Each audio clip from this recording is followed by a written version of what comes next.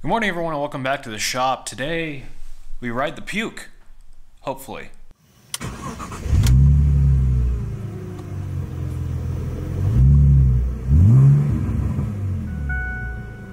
I don't know if it's pronounced puke, but I'm gonna pronounce it puke because that's how I'm feeling today.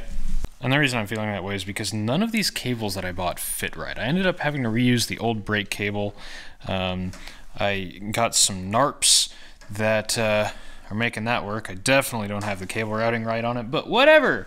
A NARP, for those of you wondering, is one of these things. It goes on the end of the cable and it locks it in place. I'm going to use those for the front rear brake because I couldn't find the factory parts for these anywhere that wasn't overseas and would take eight years to get here. Uh, I'm also going to use those to hopefully shorten the throttle cable because the in the inside is just way too long. There's all this extra cable. Somehow nothing I bought for this bike actually fits this bike properly. So I'll have to take this off and straighten that out. I got the intake on the carb and I made a gasket because there was not a gasket before. Isn't it beautiful? I actually used gasket material for that, so, uh, you know, give me some credit. So let me get this off. I think that's a... Oh, and I bought some other stuff. Uh, this is the nice one. It's a new exhaust. It was $60, and it's actually a Tecno. So it's a performance exhaust that looks stock. Love it. So in theory, the way that this works is just slide this guy on here. So once it's on, lock it in place with the Allen key.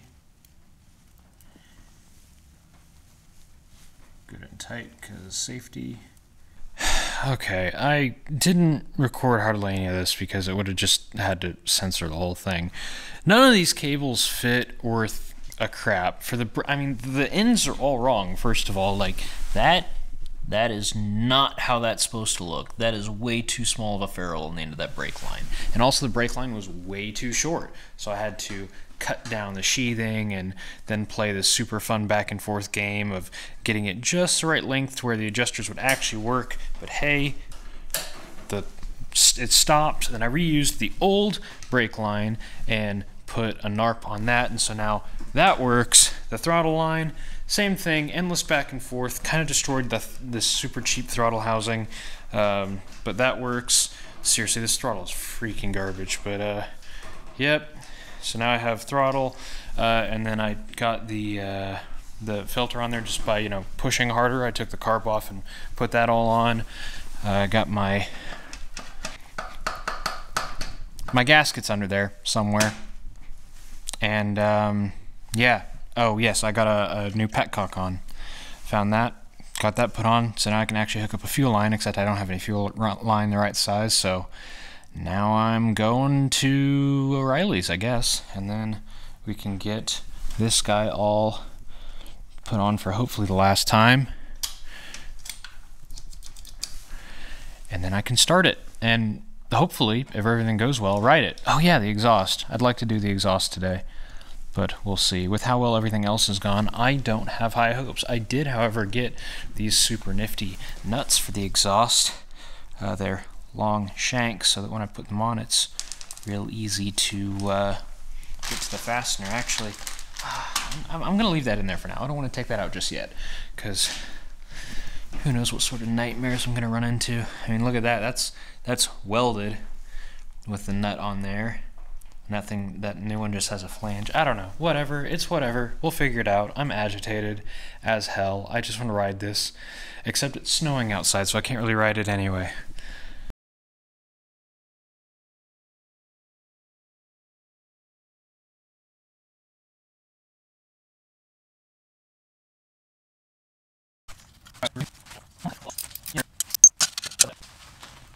She purty. And she'll fit. This should be pretty straightforward, I think.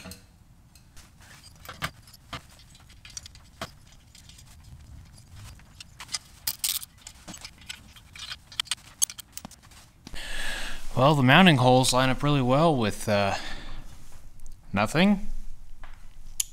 That checks out. Nothing fits on here. Whatever. I want to see if this thing starts.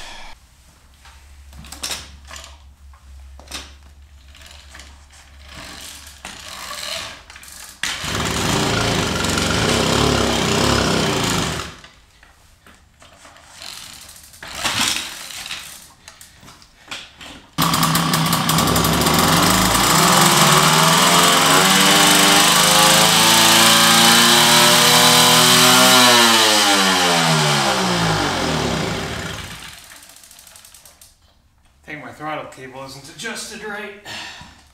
Okay, I'm gonna sum up what happened last night because I got so frustrated I just kind of stopped recording. Basically, I got this thing ready to go. It would fire up, it would run, and I was ready to go take it for a ride, except um, I, I, didn't have a kill switch, and I really figured I needed a kill switch. I was just also so annoyed because, you know, the cables, nothing fit right.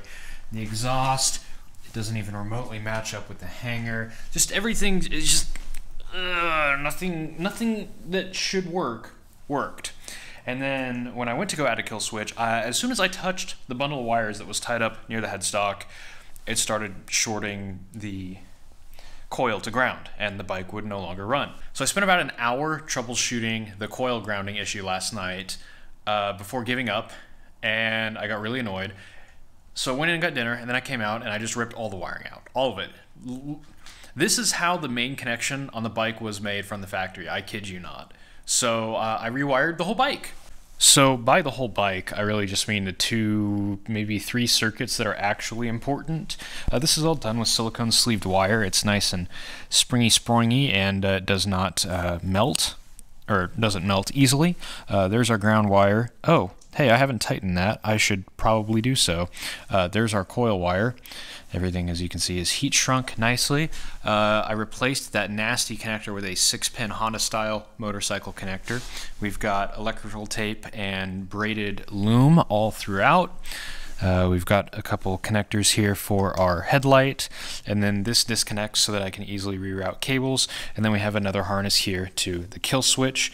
Uh, back is on, and then push. It's easiest to push forward in an emergency, so I made forward be off. So as a result, it works pretty well. Also, we got a new petcock here, which I left on reserve. I sure hope my float bowl doesn't overflow. That could be a problem if so. Um, and it, it's it's more or less functional now, I think. And this new exhaust is so nice and quiet compared to the other one. Big fan of that. So let me tighten this uh, this ground up, and then we'll take it for its first ride now that it's done snowing outside. All right, we're just gonna let that warm up for a little bit while I get my helmet on. See if we can get see if we can get some heat in here. It is pretty chilly outside. Oh wow, there's plenty of fuel in there. Cool beans.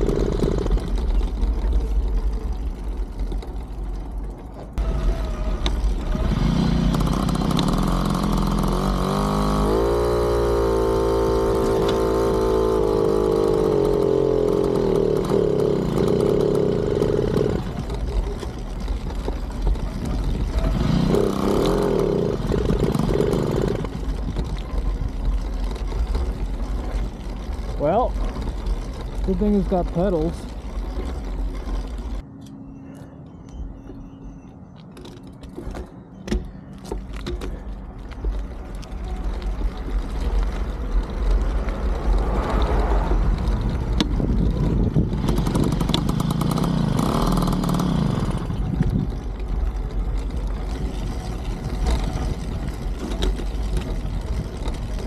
That's got to be a carb issue. Question is, what specifically?